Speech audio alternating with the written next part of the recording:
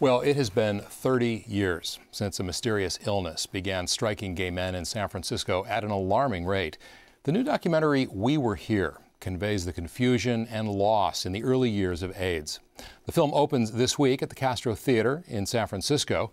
Earlier today, I spoke with filmmaker David Weissman, but first, here's a clip.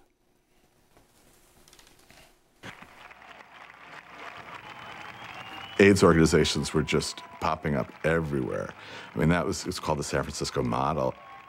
I think one of the reasons the San Francisco model worked was because of the size of San Francisco and because of Castro Street itself, that there was a center.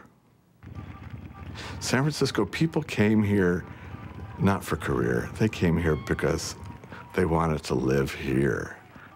And when AIDS came along, the community was sort of inherent in that. It, all it needed was the AIDS epidemic to really make it coalesce. You know, whether it was taking care of people's pets if when they were in the hospital or bringing them food like open hand, everybody wanted to do something. It was a way the community came together in an amazing way that, you know, politics had never done that. David Weissman, welcome to the program. Thank you, Scott. Nice to be here. Incredibly, it's been 30 years this year since the first cases of AIDS started popping up in San Francisco. Why now? Why did you feel this was the time to tell this story? It was actually suggested to me by a former boyfriend who was much younger and had not lived through that period of time and had heard me speak of it so much. And he suggested the idea to me, and I would never have thought of it on my own. Um, and then when I did start to think about it, it I was realizing that it enough time had passed where probably those of us who did live through it would be ready to tell our stories and that there is more and more interest among younger people because they don't really know much about what happened. So it just it's like there's a moment, there's a zeitgeist moment. Take us back to that time. I mean, this is the best of times, it's the worst of times. There is a celebration of gay freedom that's just beginning to be felt, and yet there's the beginning of this terrible epidemic. Take us back to the Castro neighborhood in San Francisco during that period, the early 1980s. Yeah, I mean, it was a it was a it was a very intense time here. I mean, the, the exploration both of political power and sexual freedom was a, a, very heady mix in San Francisco in those years. And yet we were also coming off of the killings of Moscone and Milk, and it was a, it was a complicated time.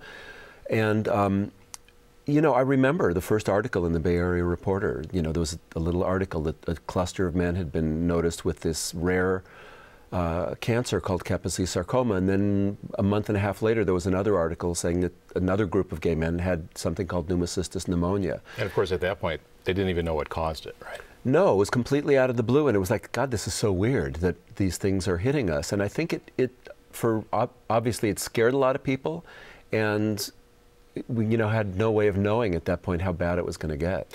Looking at the film, you see these very poignant pictures of these young, vibrant men, healthy, and then other young men, as they develop AIDS, uh, emaciated and gaunt. And I just wonder what impact do you think that physical change, the lesions, the weight loss, had on a community that, you know, placed so much stock in looking good?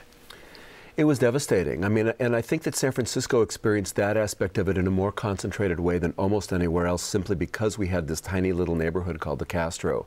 I think in most other cities, the gay communities were more spread out and also more interspersed with the general population. So you would walk down the street in the Castro and you'd see someone who looked like a, you know, a, a, kind of a sick old man, and you'd realize when you got close that this was someone who was 25 years old that you knew, and they were just, you know, ravaged by the disease. You uh, tell this story through the voices of five people, most of whom are unknown to most folks in San Francisco. Why five and why these five? I found fairly early on in the process that what worked for me as a filmmaker and what I hoped would work for the audience was that a, a very large story could emerge out of a small number of really well told personal journeys. And um, it's hard to, I mean, the, these particular five people were people that kind of popped up in my frame of vision at one point, and I thought they would be good for an interview. And I think that cumulatively they do tell a very, very big story, and yet through a very personal and intimate uh, kind of journey. There is a generational divide in a way over HIV/AIDS. Uh, young people who are now coming of age. Um, know about AIDS mostly through history, or maybe they've met someone who's living with AIDS. What have you noticed in terms of the audiences? How are young people who see this film, how are they reacting?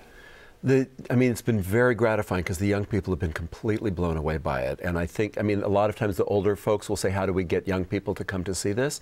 And my sense is that the young people are going to bring their friends. The, the response from particularly younger gay men, but all kinds of young people, has just been very profound. Well, like what? What are they saying?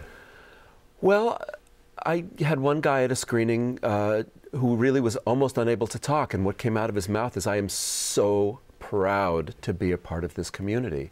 And they see the images of the guys on screen and they think, well, what would I have done if those were my friends and they were starting to get sick and die? And how would I have responded to this? What are you hoping people get out of this film as they as they're watching it and you know afterwards? I think depending on who they are, probably different things. I mean, for those of us who lived through it, I am hoping that there's a tremendous sense of validation and a beginning of a healing process because it has not been talked about very much for people who weren't there, whether they're young gay men or whether they're, you know, school kids in Iowa, I hope they get a, an understanding of the beauty of, a, of the way a community can respond in a time of crisis, particularly a community that doesn't have a lot of friends in the world. Um, I think San Francisco provided a really uh, extraordinary example of people coming together. One of the people who was there during that time is you, uh, and I was there as well. But I'm wondering, uh, in the making of this film, did it change the way you look at that time? Uh, that now that you have some perspective and have looked at it through the, the voices and the stories of these five people? It's an ongoing process that, yes, it's definitely altering my perceptions of it. I mean, because one of the things that's peculiar is remembering that in many ways life felt very normal then. I mean, you and I would bump into each other at Cafe Flore, and you know, people still went dancing and, you know, you see pictures of the parades and it's very celebratory. So it's that mixture of normalcy and incredible abnormalcy that I find sort of more and more fascinating as I think about it. And we should tell people that uh, We Were Here is beginning a one week run at the Castro Theater tonight in mm -hmm. San Francisco. And uh, we wish you a lot of luck. Thank you very much, Scott. David Weissman, thank you.